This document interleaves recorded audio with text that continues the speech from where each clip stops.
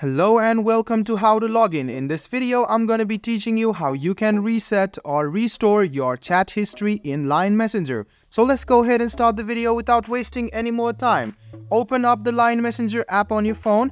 After you do so, go to home. So you can see home on the bottom left corner, tap on it and then you can see the settings or the gear icon on the top right. Go ahead and tap on that and you can see backup and restore chat history. Go ahead and tap on it and as soon as you do it you can see on the bottom there is something called restore. Go ahead and tap on restore wait for a while and all of your chats will be restored quite easily. So you can also see some of the backup and restore settings over here. You can easily use this function. So i'm to show this process to you once again guys. So make sure you pay attention. Go ahead and tap on line messenger go to home and tap on settings. After you do so tap on backup and restore chat history Go to restore, tap on restore once and then your chat will be restored and your chat history will be restored as well.